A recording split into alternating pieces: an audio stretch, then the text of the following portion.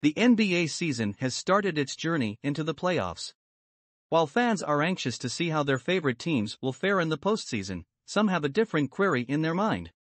With the end of the regular season, many are trying to predict the MVP award winner for this year. Shaquille O'Neal and his crew at Inside the NBA have been having several discussions about the 2022 23 MVP.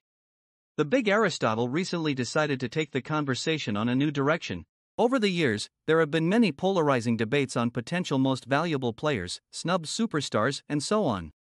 However, Shaq has ignited a new debate among fans, bringing Michael Jordan, Magic Johnson, and Charles Barkley into the conversation. Shaq has had numerous debates with his friend and colleague Charles Barkley on the Prime Show about their respective MVP picks, Milwaukee Bucks star Giannis Antetokounmpo being one of the leaguers in the few Shaq named. However, whenever the big man has found the arguments heading towards an unfavorable outcome, he has hilariously resorted to taking shots at Barkley, joking about the Barkley's lack of rings. It seems the big man hasn't ceased taking jabs at his seniors, recently venturing to compare his own era with the 90s. The four time NBA champion posted a picture on his social media, unapologetically repping the MVP winners of the 2000s over those of the 90s.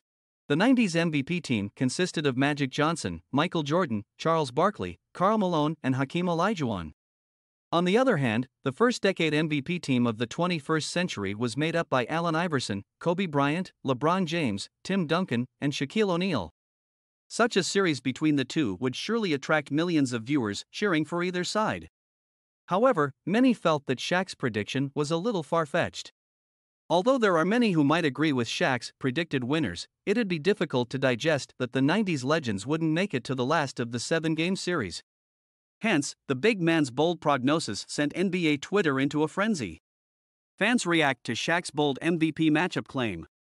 Over the years, there have been many NBA superstars in the 21st century who have disregarded the capacity of the 90s legends in modern basketball. Although it would always be a hypothetical situation without any means of proof, many strongly stand firm on their stance while throwing some shade at the 90s players. Despite Shaq having been a beast in both centuries, he picked his 21st century colleagues as winners against the best 90s MVP team. It was a decision that left the NBA fandom divided, as they expressed themselves with a flurry of reactions on the post. Many reminded Shaq of how Hakeem Olajuwon and co swept Shaq's team in the 90s. Others even pointed out how even if the 2000 squad might win Shaq would hardly get passes from the icons on the team. Who's your pick among the two legendary decades?